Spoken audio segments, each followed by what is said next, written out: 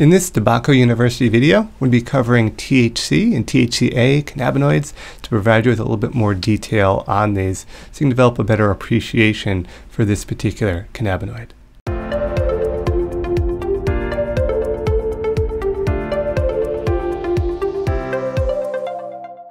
So you might be wondering what the difference between THC and THCA is. Well, here we see them in the basic chemical structure, and THCA basically has this additional group added on here. Um, so again, that's the chemical um, uh, difference at the molecular level. So this is a great research article here where we're looking at, it goes into a lot of detail on many cannabinoids. This video lecture, going to focus on THC. So T- why THC? Well, it's the famous one. Uh, it is one of the most recognized cannabinoids ever to be discovered. Kind of like the Taj Mahal. Show a picture, everyone knows what that is. Uh, while there are multiple uh, compounds in cannabis that offer medicinal benefits uh, and many more that modulate the impact of THC, there are none with such psychoactive impact as THC. And that's why it's kind of the most famous one uh, because it has such a unique effect. So what is that effect? Well, kind of the effect with uh, THC after consuming decarboxylated THCA or THC in high doses can cause near hallucinations uh, for some. Although the effect is not technically intoxicating, it is certainly inebriating and uh, very often uh, psychedelic. So some uh, effects of acute marijuana intoxication, we can see some of the after effects of consuming a cannabis bud here that has a high amount of THC. Now here it says consuming decarboxylated THCA. When it's decarboxylated, it goes to the delta 9 THC many people are familiar with. So the molecule that started the war, uh, it is the cannabinoid that is the target of now uh, fading drug war, which characterized uh, cannabis as a dangerous and addictive drug. In the absence of THCA, there may never have been a, a, a drug war against cannabis. Uh, so it's just kind of an interesting component of that. It was really the molecule that the plant produced that really caused a lot of this uh, drug war. Kind of developing companies such as the farmer and the felon, uh, things like that, DEA going after uh, plants, and the federal level being set at what it is for the specific THC molecule. So what's the original source? Well, THC, believe it or not, uh, the original source is CBGA.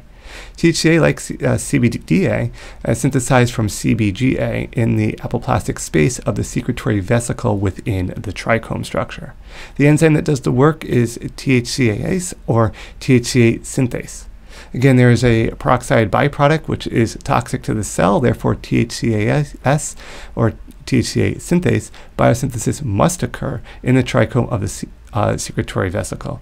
So we're looking kind of a visual of this. Well, here's our CBGA, and then it's THCA and also CBG is being derived from that single molecule, kind of like the original molecule, the stem cell molecule, that through enzymatic actions and other plant functions can then be made to produce these various compounds all occurring within the trichome. So THC uh, and regulations, when we're looking at current regulations that require all CBD hemp flowers with a THC content greater than 0.3%, thereby classified as marijuana and must be destroyed. There are a few exceptions to the rule of THCAase producing THCA and CBDAS uh, producing CBDA. So there are a couple exceptions, but pretty much all cannabis, hemp, uh, equal to or less than 0.3% THC, marijuana greater than 0.3% THC. THC being that molecule that causes the category the categorization of that plant material.